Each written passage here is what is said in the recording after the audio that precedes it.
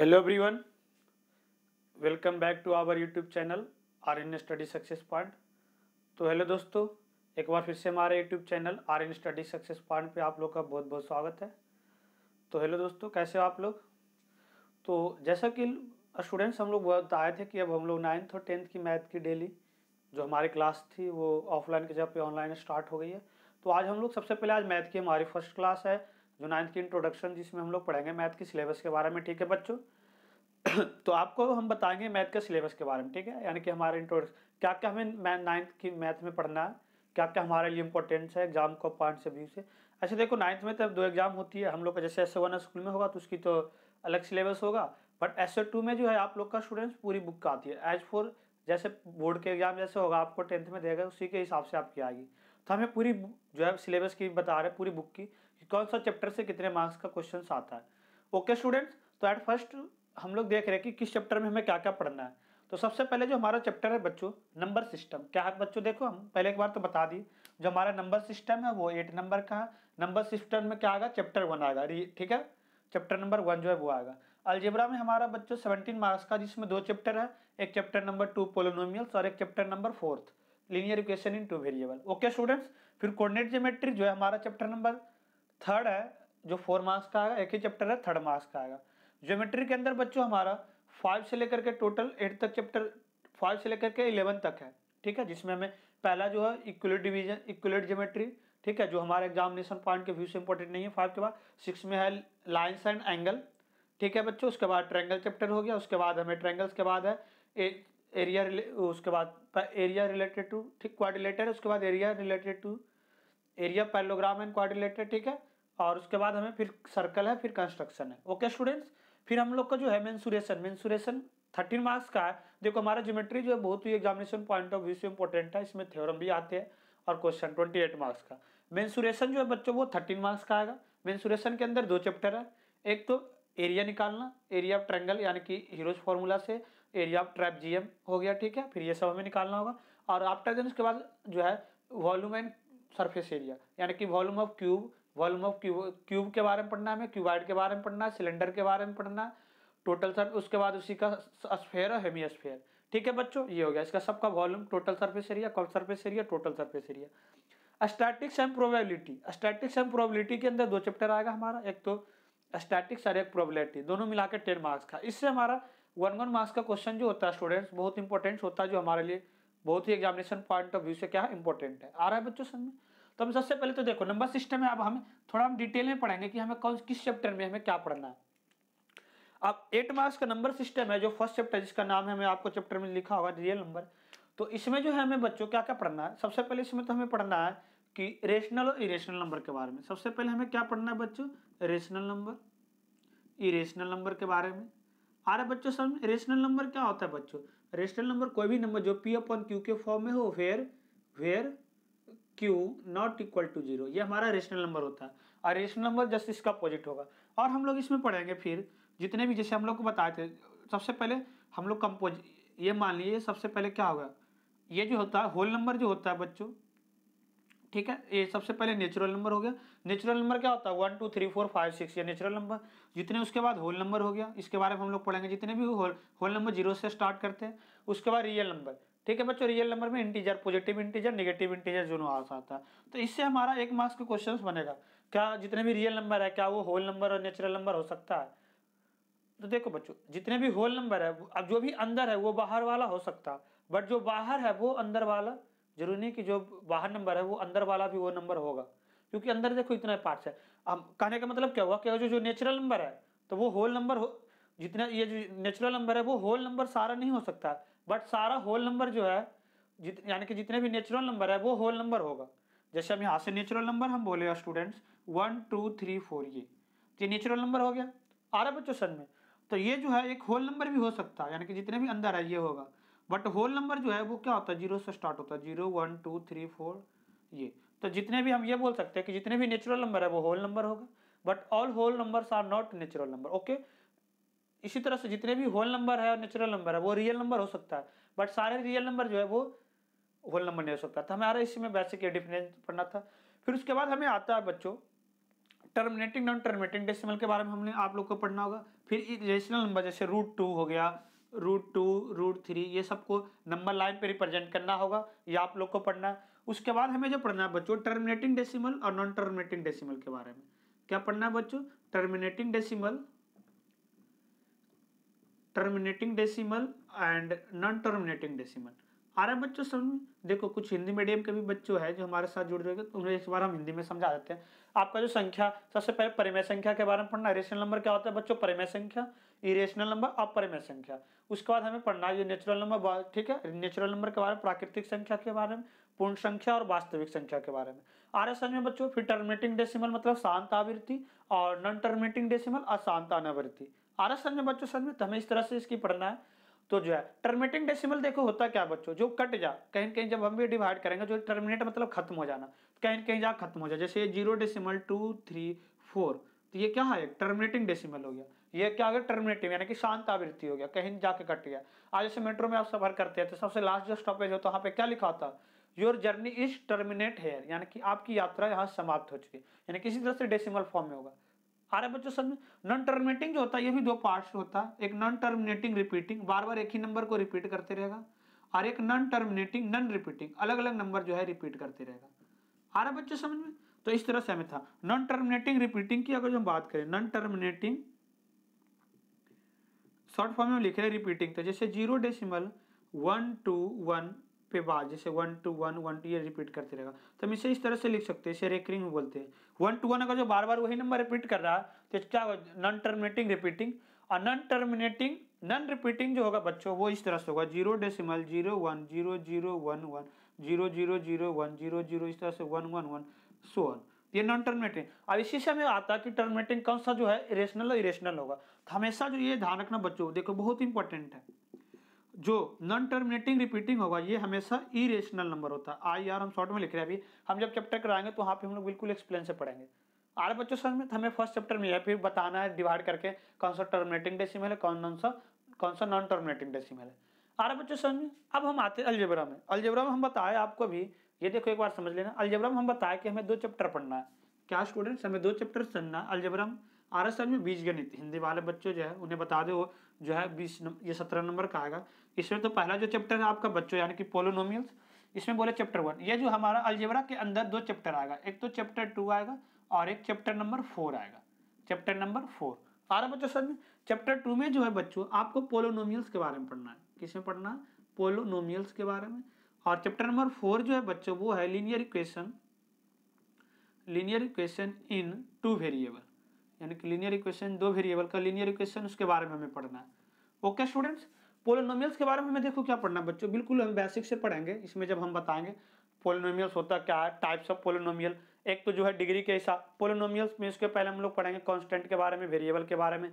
फिर पढ़ेंगे coefficient of polynomials फिर हम लोग पढ़ेंगे ज़ीरो ऑफ़ पोलिनोमियल्स क्या होता है। कोफिशियंट ऑफ़ पोलिनोमियल्स क्या होता है, जो भी उसके आगे, जैसे x square plus two x यहाँ पे एक्स स्क्वायर का कोफिशियंट कुछ नहीं तो वन होगा। टू एक्स यानी कि एक्स का कॉफिशियंट प्लस टू हो गया। और बच्चों, समझ में? तो हम लोग का ये पढ़ना है। आफ्टर देन उसके बाद हम लोग पढ़ेंगे टाइप्स ऑफ़ पोलोनोमियल्स तो पोलोनोमियल्स को हम लोग दो दो टाइप्स में क्लासिफिकेशन कर रखे हैं। एक तो हम उसके टर्म के हिसाब से, हम लोग अभी जब पढ़ेंगे तो टर्म क्या होता है, ये भी बता देंगे, और डिग्री क्या होगा, ये भी हम बताएँगे।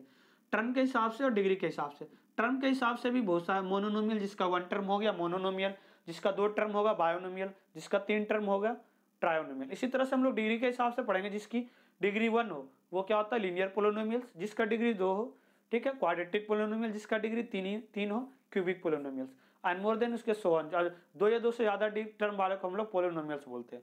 और स्टूडेंट समझ में? फिर हम लोग पढ़ेंगे कि कैसा हम पोलोनोमियल्स कौन कौन सा है जो पोलोनोमियल्स हो सकता है क्वेश्चन कौन सा एल्जेब्रिक एक्सप्रेशन पोलोनोमियल्स हो सकता है?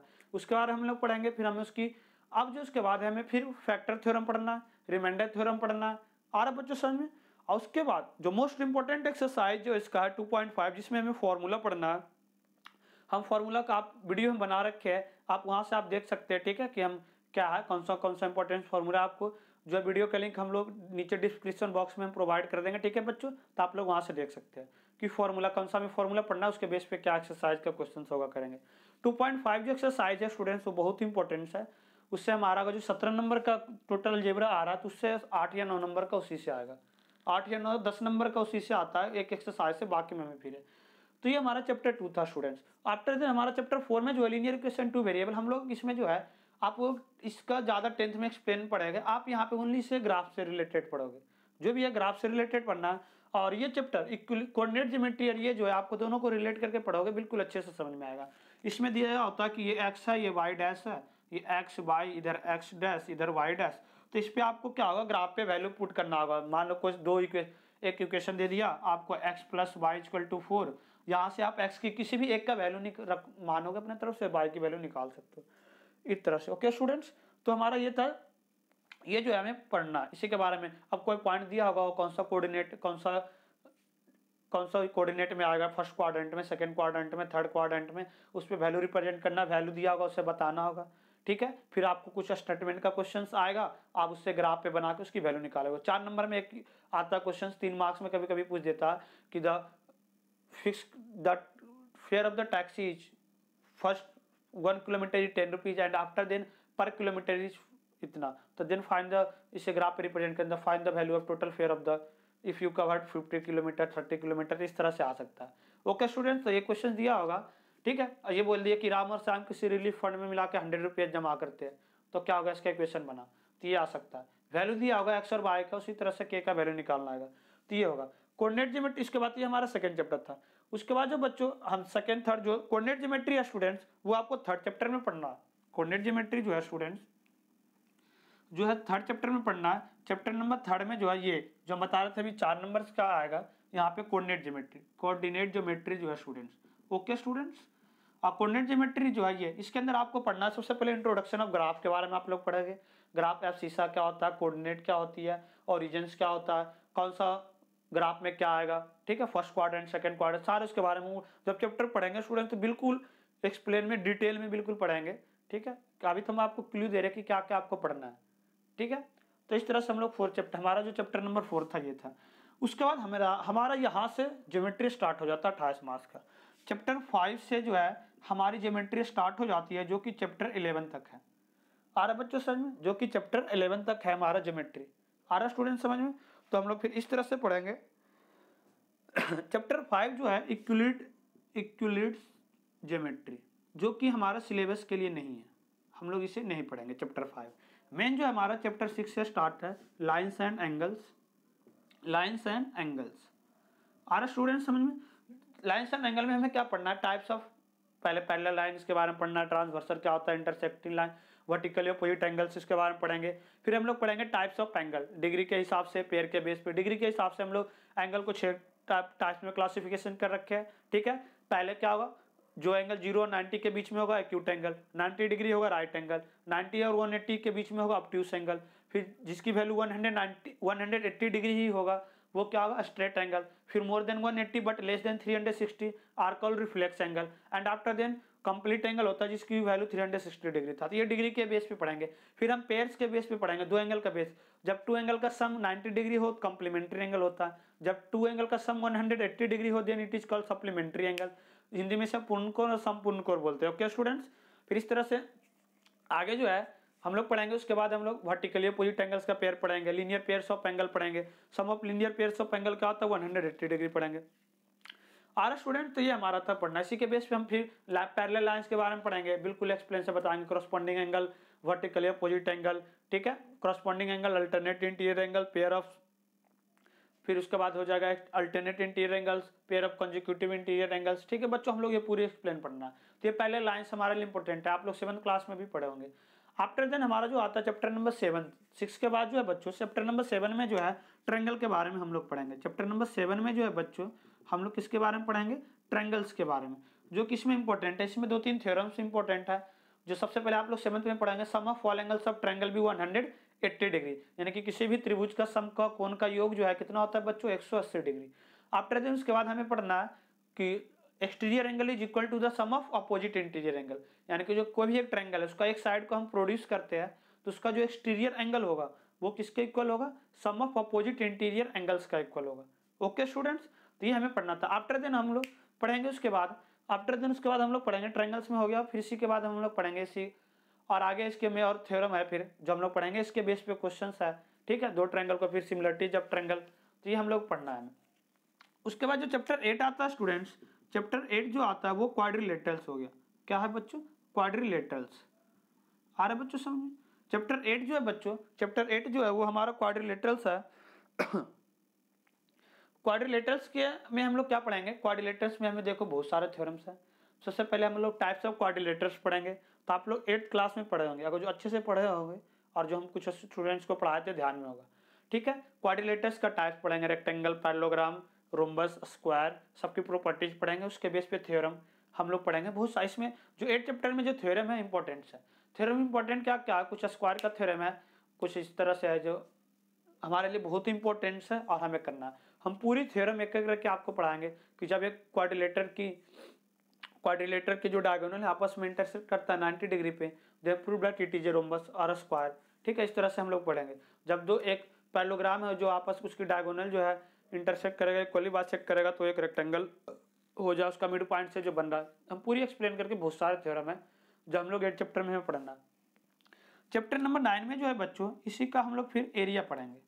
Quadrilateral of area related to triangle ठीक है, इसमें हमें दो तीन थ्योरम है। ठीक है, इसमें हमें मिड पॉइंट थ्योरम पढ़ना है, जो कि बहुत ही इंपॉर्टेंट है एग्जामिनेशन पॉइंट ऑफ़ व्यू से। आपका या तो सेवन का एग्ज़ाम हो या जो भी है, उसके एग्जामिनेशन पॉइंट ऑफ़ व्यू से हमारे लिए बहुत ही इंपॉर्टेंट है। ठीक है, जब मिड पॉइंट थ्योरम देखो, होता क्या बच्चों? मिड पॉइंट थ्योरम क्या होता है कि दो ट्रैंगल किसी भी दो, एक ट्रैंगल में उसकी जो एक साइड से, देखो हम यहाँ पे हम रफ डायग्राम बना देते हैं।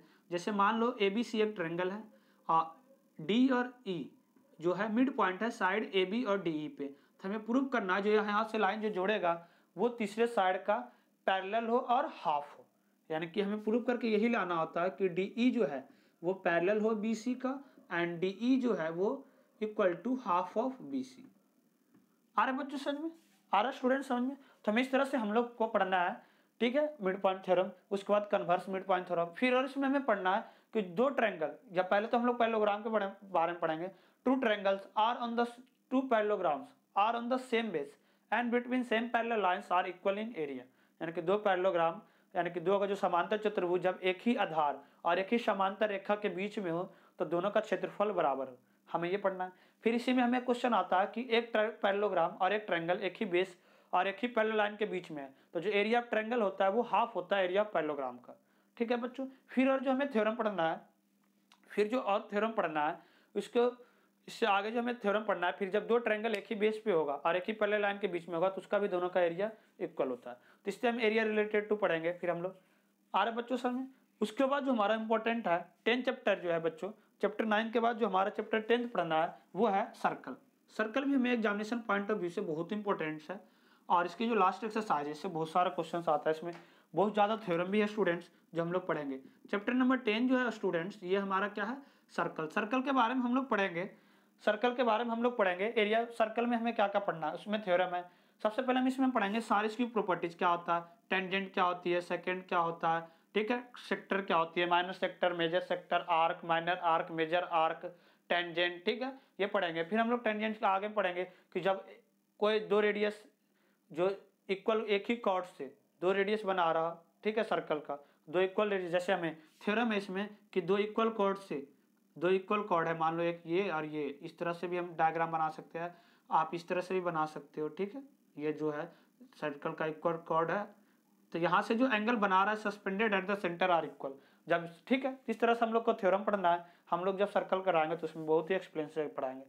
अब जो चैप्टर टेंथ के बाद आता है स्टूडेंट टेंथ के बाद जो है इलेवन चैप्टर इलेवन चैप्टर जो है हमारा कंस्ट्रक्शन का है, जो आप लोग को पता है कंस्ट्रक्शन में। कंस्ट्रक्शन से देखो बच्चों, दो तीन क्वेश्चन फिक्स है, किससे? आना ही आना। इससे अलावा कहीं बाहर से नहीं आता। कंस्ट्रक्शन। जो हमारा इलेवन चैप्टर है बच्चों, ये कंस्ट्रक्शन देखो अभी तक ये लास्ट ज्योमेट्री का लास्ट एक्सरसाइज है। ठीक है बच्चों? फाइव से लेकर के इलेवन तक। तो फाइव चैप्टर हम बोले एग्जामिनेशन पॉइंट ऑफ़ व्यू से इंपॉर्टेंट नहीं है। तो छह चैप्टर आपको इंपॉर्टेंट है। Lines and angle triangle quadrilateral area related to quadrilaterals ठीक है? उसके बाद सर्कल और उसके बाद कंस्ट्रक्शन कंस्ट्रक्शन में तो हमें फ़र्स्ट चैप्टर दो दो एक्सरसाइज है, इलेवन पॉइंट वन और eleven point two. Eleven point one में जो है बच्चों, हम लोग को बनाना है, परपेंडिकुलर लाइन बनाना है, ठीक है? उसके बाद उस लाइन्स को, एंगल को बाइसेक्ट करना इस तरह से। जो हमारा एग्जामिनेशन पॉइंट ऑफ़ व्यू से है, जो इलेवन पॉइंट टू होगा, उसमें हमें दो साइड ऑफ़ ट्रेंगल दिया होगा और ग्रेटर देन थर्ड साइड दो साइड को ऐड करके इतना प्लस ये आता है, इस तरह से हमें करना और बहुत सारे थ्योरम उसका एग्ज़ाम्पल एक है क्वेश्चन फोर या थर्ड फोर जो है, वो सब इंपॉर्टेंट है, ठीक है बच्चों? चार नंबर का इससे क्वेश्चन पूरे देखो, जब इमेज अट्ठाईस नंबर का ज्योमेट्री है, चार नंबर का कंस्ट्रक्शन से आएगा। एक चैप्टर एक एक्सरसाइज करना, चार से पाँच छः नंबर आ जाएँगे। सर्कल बाकी थ्योरम पे हमारा आठ से नौ नंबर थ्योरम पे आएगा। तो आठ, चार, बारह नंबर ऐसे इस तरह से तैयार हो गए। बाकी लाइन्स एंड एंगल हम लोग पढ़ेंगे इस तरह से। बिल्कुल मैं अट्ठाईस में twenty eight out of twenty eight लाना है। ठीक है? पूरे एग्ज़ाम इस तरह से हम लोग आपकी तैयारी करेंगे। उसके बाद जो हमारा आता है नेक्स्ट सेक्शन जो हमारा टॉपिक स्टार्ट हो जाएगा मेंसुरेशन क्या जाएगा स्टूडेंट्स मेंसुरेशन मेंसुरेशन के अंदर जो है पहले हम लोग चैप्टर ट्वेल्व पढ़ेंगे। चैप्टर नंबर ट्वेल्व जो है एरिया रिलेटेड टू ट्रायंगल ठीक है? यानी कि हम लोग इसे बोल सकते हैं हीरोज फार्मूला सीधा। हीरोज फॉर्मूला पढ़ना चैप्टर का नाम है हीरोज फॉर्मूला पे। हीरोज फार्मूला पे हम लोग क्या पढ़ेंगे? एरिया ट्रायंगल निकालने का। एरिया ट्रायंगल निकालेंगे, देखो स्टूडेंट्स एरिया ट्रायंगल किस तरह से हम लोग निकालेंगे? जैसे ये एक ट्रायंगल हमें दिया हुआ इसकी दोनों साइड दोनों साइड दिया हुआ तीनों साइड ए बी सी तो सबसे पहले हम लोग सेमी पेरीमीटर निकालते हैं A plus B plus C upon two okay students after then हम लोग यहाँ से एरिया निकालने का फॉर्मूला अप्लाई करेंगे. Under root S into S minus A into S minus B into S minus C okay after then यहाँ से हम लोग निकाल लेंगे फिर. ठीक है तो हमारा चैप्टर ट्वेल्थ में पढ़ना था. उसके बाद इसी से आ गया ट्रेपजियम का भी एरिया निकालना. कंबाइंड फिगर है तो उसे हम ट्रेंगल में करके बने आएँगे. तो इस तरह से बहुत सारा एक एक्सरसाइज दो एक्सरसाइज है, बहुत इंपॉर्टेंट है। सिक्स मार्क्स अब जो हमारा ये थर्टीन मार्क्स का मेंसुरेशन है तो छः नंबर का हमारा इससे आएगा। पाँच या छः मार्क्स का इस चैप्टर से। बिल्कुल ही ईजी है। आप लोग एट क्लास में भी पढ़ेंगे हीरोज फॉर्मूला के बारे में। फिर जो हमारा मेंसुरेशन बताया था, हम दो चैप्टर में डिवाइड है चैप्टर ट्वेल्व और थर्टीन ट्वेल्व चैप्टर जो था हीरोज फॉर्मूला था थर्टीन चैप्टर जो है सरफेस एरिया एंड वॉल्यूम है। सरफेस एरिया एंड वॉल्यूम आ रहे सर में बच्चों? तो सरफेस एरिया एंड वॉल्यूम में जो हमें पढ़ना है students surface area and volume जो है chapter number thirteen thirteen chapter जो बता रहे थे स्टूडेंट्स थर्टीन चैप्टर जो था surface area and volume surface area and volume ठीक है? यहाँ जो हम जो सब सारे सारे थ्री डी डायग्राम पढ़ेंगे। वॉल्यूम पता आप लोग को थ्री डी में निकालते हैं टू डी का। हम वीडियो भी इस पे बना चुके थे टू डी का फॉर्मूला थ्री डी का फॉर्मूला निकालने के लिए। इसमें हम लोग पढ़ेंगे क्यूब के बारे में क्यूब वाइड के बारे में। ओके स्टूडेंट्स उसके बाद उसके बाद हम लोग जो पढ़ेंगे सिलेंडर के बारे में। ठीक है स्टूडेंट्स उसके बाद हम जो पढ़ेंगे, सिलेंडर के बाद हमारा हो गया कौन। कौन के बाद हो गया स्फेयर और उसके बाद क्या होगा? हेमिस्फेयर ये जो है, सबको हम तीन तीन चीज़ निकालेंगे। सबसे पहले वॉल्यूम फिर C S A curve surface area और टी एस ए यहाँ पे हमारे लिए क्वेश्चन में बहुत सारे बच्चे हो जाते हैं कि, सर, हम ये कौन सा फॉर्मूला कहाँ पे यूज़ करेंगे?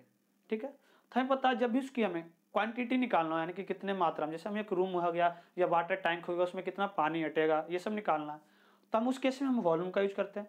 कर्व सरफेस एरिया मतलब जो हमें यहाँ खड़े हैं तो हमें चारों साइड घूम जाएँगे, जो हमें दिख रहा है। जैसे एक हमारा ये रूम है, ये हमारा रूम हो गया तो हमें इसकी सिर्फ़ चारों दीवार के अगर जो निकालना है हमें, ध्यान से चीज़ समझना फॉर्मूला कि कहाँ पे हम कर सरफेस एरिया यूज़ करेंगे, कहाँ पे टोटल सरफेस एरिया यूज़ करेंगे। ठीक है? अगर जो हमारे ये जैसे वन टू थ्री फोर ये चारों दीवार की एरिया जब निकालना है एरिया फोर वाल्स आ गया या किसी भी चीज़ तो हम कर सरफेस एरिया का यूज़ करेंगे। यानी कि हमारा, अब जब टोटल सरफेस एरिया में हमेशा ऊपर और नीचे दोनों इंक्लूड हो जाता है। कभी कभी क्वेश्चन में ये दे देता कि हम एक दीवार के चारों साइड दीवार और उसकी सीलिंग को हम पेंट करना है तो इसकी हमें एरिया निकाल तो क्या करेंगे?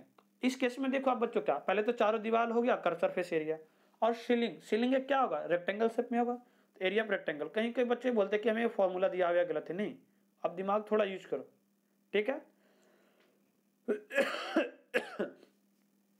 तो हम इसके बेस पे हम लोग यूज़ करेंगे। तो curve surface area plus area of ceiling यानी कि एल एन टी तो इस तरह से हम यूज़ करेंगे। मान लो नीचे दिया, ऊपर खुला टैंक बनाया तो पानी का ऊपर खुला। जब दोनों साइड पूरा बंद होगा, तब टोटल सरफेस एरिया अब आप लोग को समझ में आ रहा होगा कि हम टोटल सरफेस एरिया का फॉर्मूला कब यूज़ करेंगे? कर्व सरफेस एरिया का कब यूज़ करेंगे और वॉल्यूम का कब यूज़ करेंगे। बाकी फॉर्मूला आपको हर एक में तीन तीन फॉर्मूला याद करना, बिल्कुल एकदम मज़े से हम लोग पढ़ेंगे, कोई दिक्कत नहीं है। तो ये तो हमारा मेंसुरेशन उसके बाद जो हमारा लास्ट टॉपिक बचता है, ठीक है स्टूडेंट्स जो लास्ट टॉपिक बचता है, जो लास्ट टॉपिक बचता है स्टैटिक्स एंड प्रोबेबिलिटी इसमें भी दो चैप्टर है, ठीक है? हमारा जो चैप्टर नंबर फोर्टीन है, उसके बाद जो देखो बच्चों, हम यहाँ पे रफ कर रहे हैं। चैप्टर चलो इधर लिख देते okay students chapter number fourteen जो है फोर्टीन में हमें पढ़ना है स्टैटिक्स के बारे में? स्टैटिक्स में हम लोग क्या पढ़ेंगे बच्चों? सबसे पहले तो हम लोग पढ़ेंगे किसी भी चीज़ का फ्रीक्वेंसी डिस्ट्रीब्यूशन निकालना टेबल बनाने के लिए। और इसमें पढ़ेंगे पिक्टोग्राफ पिक्टोग्राफ हिस्टोग्राम ये सब के बारे में हमें पढ़ना। उसके बाद जो लास्ट एक्सरसाइज है, इस पर हमें ग्राफ पे वैल्यू आगे निकालने के लिए हिस्टोग्राम बनाना पिक्टोग्राफ बनाना तो हम लोग करें। बाद में जो हमें है मीन मेडियन मोड के बारे में पढ़ना। है आप लोग सेवन्थ में पढ़ेंगे एट में मीन क्या होता है मेडियन क्या होगा मोड उसके बेस पे क्वेश्चन आगा वो करेंगे हम लोग। आ रहा बच्चों, समझे फोर्टीन चैप्टर क्या पढ़ना था? आफ्टर देन हम लोग जो है प्रोबेबिलिटी पढ़ेंगे fifteen chapter chapter number fifteen में। चैप्टर नंबर फिफ्टीन में क्या है स्टूडेंट्स प्रोबेबिलिटी क्या है? प्रोबेबिलिटी प्रोबेबिलिटी में हम लोग पढ़ेंगे वही संभावना, प्रायिकता हिंदी में से बोलते हैं, क्या होगा, किसी चीज़ का संभावना। जैसे हम एक बार सिक्का उछाला तो उसमें हेड या टेल आने की कितने बार संभावना है तो हेड भी एक आने का संभावना है टेल भी तो फिफ्टी फिफ्टी चांस हो गया। किसी भी काम, अगर जब कोई भी काम हंड्रेड परसेंट श्योर है कि यह काम होगा तो वहाँ पे संभावना कुछ है नहीं तो ज़ीरो हो गया। अगर हम बोले कि किसी काम समझाने का फिफ्टी फिफ्टी है तो इस तरह से फिफ्टी हो जाएगा। अगर जो हमेशा ये ध्यान रखना जो प्रोबेबिलिटी ऑफ़ इवेंट होता है श्योर इवेंट प्लस नॉट दोनों का सम हमेशा ज़ीरो होगा। सॉरी वन होगा और ज़ीरो तो होगा जब बिल्कुल भी नहीं होने का संभावना है तो, तो हम लोग बिल्कुल वन मार्क्स का क्वेश्चन इससे बहुत बनता है ठीक है? दो तीन क्वेश्चन बनेगा तो हम लोग इस तरह से करेंगे। तो ये थी हमारी पूरी नाइन्थ की सिलेबस मैथ में। आप लोग को आज बता दिया आज थोड़ा दिमाग से टेंशन उतर गया हुआ कि हमें क्या क्या मैथ में पढ़ना था और किस तरह से पढ़ना था। ओके स्टूडेंट्स नाउ एक बार हम आप लोग को दोबारा से रिवीजन करा देते हैं। जो नंबर सिस्टम है चैप्टर फ़र्स्ट है, जो एट मार्क्स का आएगा, जिसमें हमें रियल नंबर पढ़ना था। इसके रियल नंबर के बारे में हम लोग पढ़ेंगे।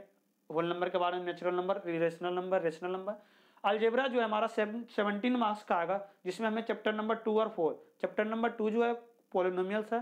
चैप्टर नंबर फोर जो है linear equation in two variable दोनों मिला के सत्रह मार्क्स का सेवनटीन मार्क्स का। कोऑर्डिनेट ज्योमेट्री जो है चैप्टर नंबर थर्ड है, जो फोर मार्क्स का आएगा।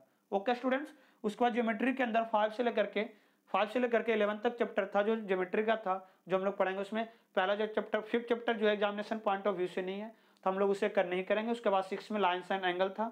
सेवन में जो था बच्चों ट्रायंगल था। उसके बाद सेवन्थ के बाद जो एट चैप्टर था बच्चों, वो क्वाड्रिलेटर्स के बारे में पढ़ना था। उसके बाद नाइन्थ में जो था एरिया और टेंथ में सर्कल और इलेवंथ में कंस्ट्रक्शन के बारे में पढ़ना था। आफ्टर देन जो चैप्टर नंबर ट्वेल्व था चैप्टर नंबर ट्वेल्व से हमारा मेंसुरेशन स्टार्ट हो जाता है, जो हमें हीरोज फॉर्मूला पढ़ना है। ठीक है? एरिया ऑफ़ ट्रेंगल निकालेंगे हीरोज फॉर्मूला से मेथड से। और उसी के बाद चैप्टर नंबर थर्टीन में हम लोग सर्फेस एरिया ने वॉल्यूम के बारे में पढ़ेंगे। आफ्टर देन स्टूडेंट्स उसके बाद हम लोग जो है, हम आ जाएँगे हमारा जो नेक्स्ट टॉपिक सिक्स है, जो टेन मार्क्स का आएगा स्टैटिक्स एंड प्रोबेबिलिटी तो टेन मार्क्स में हमारा फोर फाइव मार्क्स का प्रोबेबिलिटी से आएगा, चार से पाँच नंबर का इससे आएगा स्टैटिक्स से। चैप्टर नंबर फोर्टीन और फिफ्टीन से। तो ये था हमारा पूरा मैथ का सिलेबस उम्मीद करते होंगे कि आप लोग को बिल्कुल अच्छे तरह से समझ में आ गया होगा। कि हमें क्या सा चैप्टर कितने मार्क्स का आ रहा है, किस चैप्टर से हमें ज़्यादा ध्यान देना, किस तरह से करना।